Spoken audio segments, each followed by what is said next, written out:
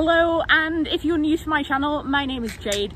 Today I am going to be picking the grapes that I've been growing here in my community garden. I have been growing these Zinfandel grapes, so it is a wine grape variety, and I'm gonna try to make wine. This is just part one where I'll be harvesting the grapes and crushing them and just getting the process started. So let me just show you the grape tree itself. Right next to me here. I think somebody has been stealing my grapes uh, because I also have one of my watermelons which was ready to pick that's been taken. So be careful with your gardens if they're like in a publicly accessible place, if it's a community garden.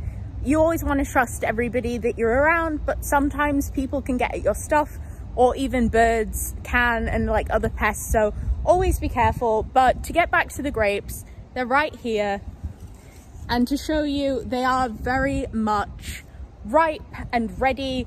Not only have they gone through veraison, but they've also plumped up a little bit and they're ready a little early because it has been very hot in Northern California and we've had a heat wave. So, you know, that's something that's definitely impacted the growth of these grapes and it has made it go a lot faster. So be very aware that sometimes you can have your grapes ripen before they might be ideal and have the most water and size because of the weather conditions. That's just because of the amount of sun that they were getting. That's the first bunch of grapes just picked. I have just put the camera down on um, the side of the raised bed. Hopefully this isn't too ridiculous, but yeah, that's my first bunch, which I have just snipped off. I just used some kitchen scissors to do so.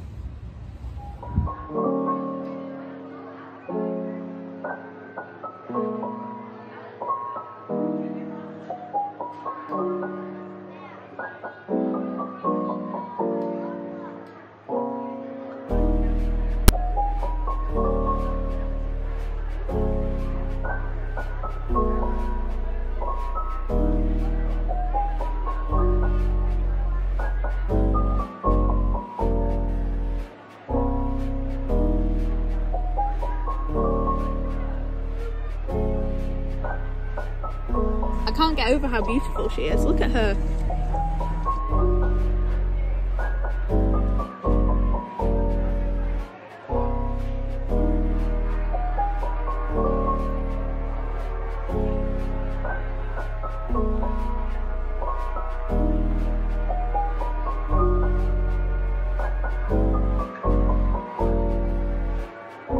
For step two, I put my grapes in a sterilized container removed from the stems and added a Campden tablet after I crushed them to sterilize the juice.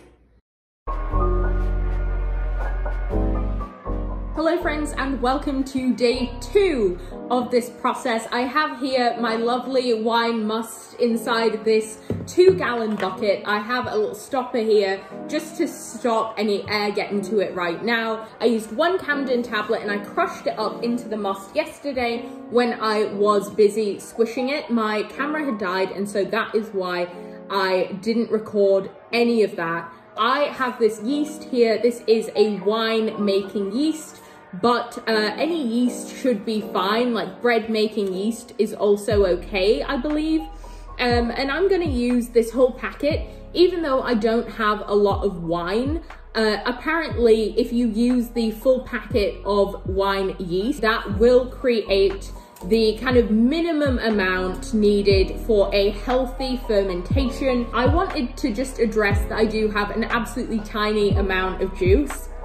I don't even know if this will end up making me a full bottle of wine. Um, but I think that the the mindset I have going into this is that I'm kind of okay if I only get like a sip of wine. I just really want to say that like I grew grapes and that I created wine entirely from the grapes that I personally uh, took the time to grow. And that is my main goal in all of this is to learn something new and to be able to say I made something out of the fruit that I grew. I'm gonna go ahead and get myself a quarter cup of warm water. I'm gonna try and get it to around 100 degrees Fahrenheit.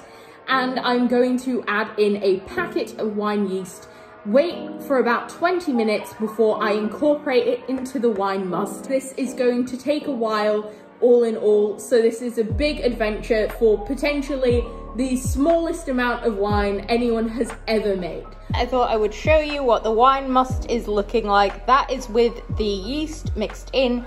I mixed the yeast with some warm water, uh, about a quarter cup, and put it into the wine must. The lid is going to go on here and because it's going to produce CO2 gas, I'm going to make sure that I attach the tubing which I have uh, to the top and then I am going to make sure that that isn't causing any danger and obviously that it isn't going to explode which it might if it had a completely closed lid.